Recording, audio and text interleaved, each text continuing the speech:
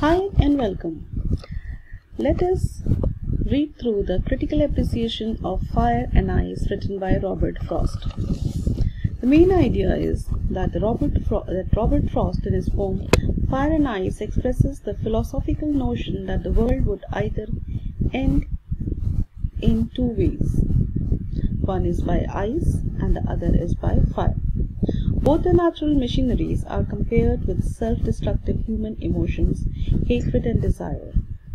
Artistically, the poet underpins the viewpoint that one lets the emotions rule oneself, and it, if one doesn't control these emotions, will lead it to destruction, which would definitely mean that similarly he thinks that fire and ice both are just agents in bringing the world to a catastrophic end.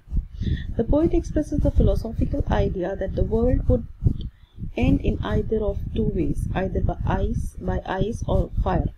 One group is of the opinion that somebody someday the earth's core will get so heated up that it would lead to fire, destroying the earth's surface, which sketches the picture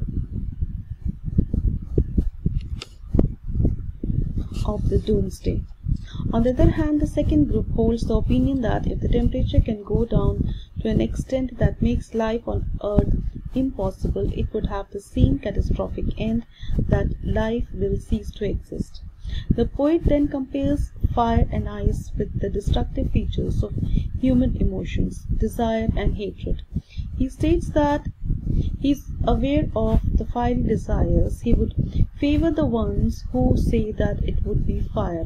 By saying so, he brings about the idea that human brings uh, let their emotions rule them, and the consequences of the unmonitored longing is chaos. Then, by not waving off the first option of fire, he considered he considers if the world has to expire twice, ice would be equally competent in ending it. He brings about the co- contrast between ice and hatred. The human capability of insensitivity and hatred has the potential for inner destruction. Though slow and steady, it has the same effect that desire has on us. So, if given an option between fire and ice, ice would be just as good as fire to destroy the world. The rhyme scheme is A B A A B C B C B. There are a fair number of poetic devices in the poem, namely symbolism, as assonance, alliteration, imagery, anaphora, personification, and enjambment. Let's explore the poetic devices. Symbolism, when one thing stands for another, the use of symbols to represent ideas or qualities, an artistic and poetic movement or style using symbolic images and indirect suggestions to express mystical ideas, emotions, and states of mind. This was an explanation of what is symbolism. Now let's see what is happening in the poem. According to Robert Frost, fire is symbolic of greed, conflict, fury, cru- cruelty, lust, and avarice whereas ice is symbolic of insensitivity, coldness, intolerance, indifference, rigidity, and hatred. Assonance. It is repetition of vowel sounds in, same, in the same line. The repetition is at different places in different words. Example, the long sound of O in I hold with those who favor fire. The O sound in hold and the O sound in those is assonance. Alliteration. Alliteration is the repetition of the consonant sound at the start of two or more closely placed words. For example, the sound of F in favor, fire, W in world, will. Imagery. Imagery is used to make readers perceive things involving their five senses.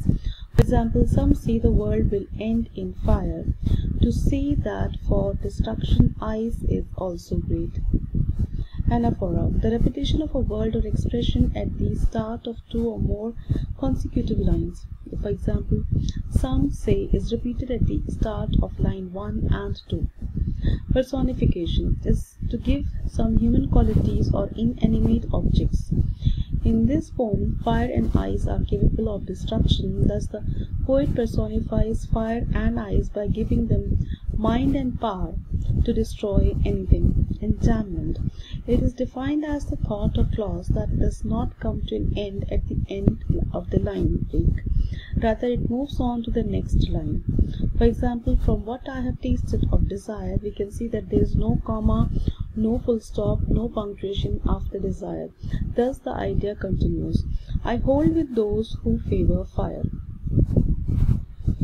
Fire and Ice, the poem is given for the student's reference and let's let us explore the rhyme scheme the sound the rhyme the sound of fire we uh, denote it with a the sound ice we denote with b desire has the same rhyme ending ending sound just like fire so we write a again.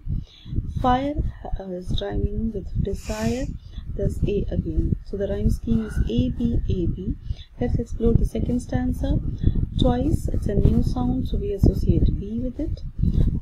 Twice sorry twice is rhyming with ice so we associate b with it. Eight is a new sound so we write c for it ice is repeated just like twice nice so we write the board the b write the b sound. The letter b great writes with uh, rhymes with hate so we write c and suffix writes with rhymes with ice. So we the rhyme scheme is b c b c b. Thank you